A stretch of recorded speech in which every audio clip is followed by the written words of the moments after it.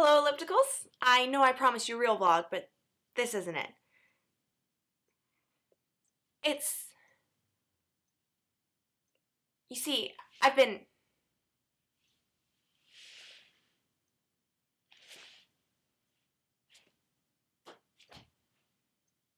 Holy shit.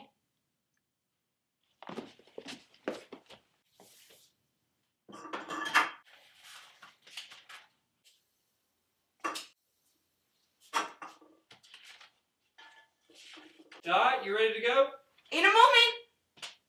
Actually, You already no, postponed. Brian, come on, come here! Come here! No, this No, isn't. this on. isn't the way to the door. But Brian! I have reservations. This is gonna be fun. Lipsicles, Brian's here. He's gonna help out with today's vlog. Can't we do this after the interval? I can't do mini golf right now. This is just too, too exciting. What's so exciting? Kurt Gödel. The incompleteness guy? Oh, so much more than that. He's a genius. Hmm. He he was a genius. He starved to death in the 70s. He what? He was really paranoid that someone was going to poison his food, and so he starved to death. But I just realized we can't start with Gödel. No, first we have to vlog about Einstein. Then we can vlog about Gödel. Of course.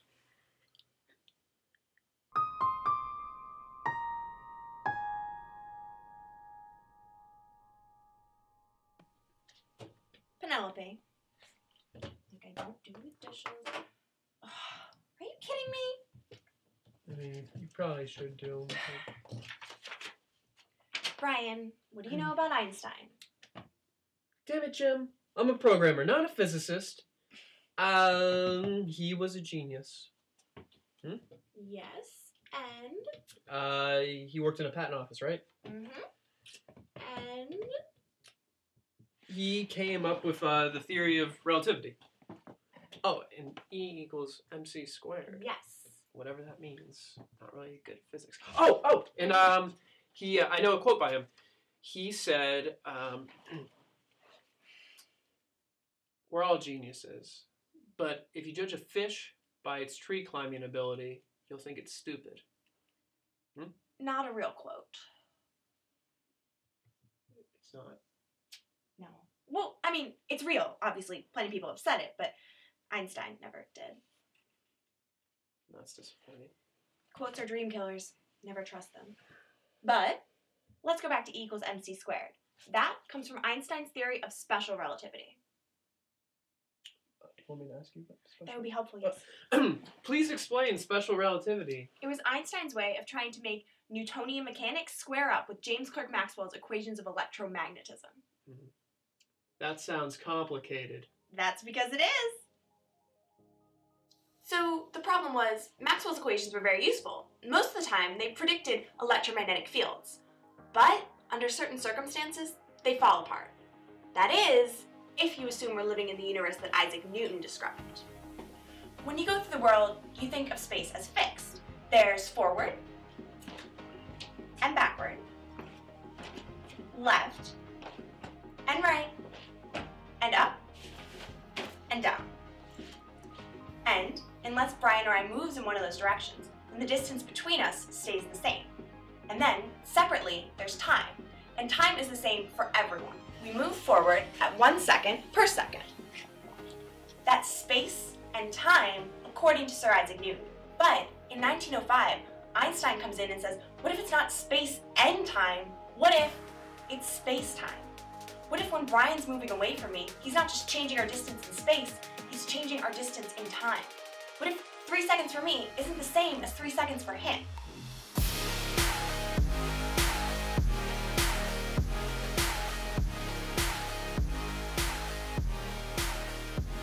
It turns out, if that's the case, then Maxwell's equations perfectly predict real-world electromagnetic measurements.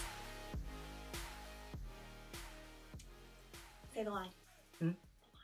Oh yeah. Um, so if that's special relativity, is there an unspecial relativity? Why, Brian? That's such a useful question. It's almost as if I told you to ask it. See, the theory of special relativity isn't called special because of how awesome it is, although it is awesome. Mhm. It's special because it only applies to a limited set of circumstances, called Minkowski spacetime, where mass has no effect on spacetime. But mass does have an effect on spacetime. It's called gravity. So Einstein thought for years until finally he came up with the general theory of until finally he came up with the general theory of relativity, which accounts for gravitational effects. The theory of general relativity describes the shape of spacetime. What's the shape of space time? We don't know. No, but you just said. that the- Einstein described the shape of spacetime using a set of equations called the field equations. But these equations have an infinite set of solutions, all of which imply a different shape for spacetime. All these solutions are constrained by the field equations, and there's some we can rule out because they don't line up with measurable phenomena like the orbits of the planets. But that still leaves infinitely many possible solutions. So is that the end of the log? No! Now we get to the fun part. Oh, Kurt Gödel was. Well, you know who he is, Brian. uh, he was a mathematician who um he came up with the incompleteness theorem. Penelope's favorite. We should blog about that sometime. But not today. Today, we're going to skip 20 years ahead of the incompleteness theorem to 1949, when the American Physical Society put together a whole journal dedicated just to Einstein. And they invited Kurt Gödel to contribute. Now, for his contribution to the journal, Gödel devised a solution to the field equations that's consistent with every measurement we've ever taken. Gödel's solution allows for the existence of closed time-like curves. Now, if a particle is on a closed time-like curve, it can start out in one moment, and then, without ever traveling faster than light, it can come right back to that same moment. Like I said, there are infinite solutions to the field equations. But if Gödel's solution is right, if we're living in Gödel's space-time, then, then we can travel back in time.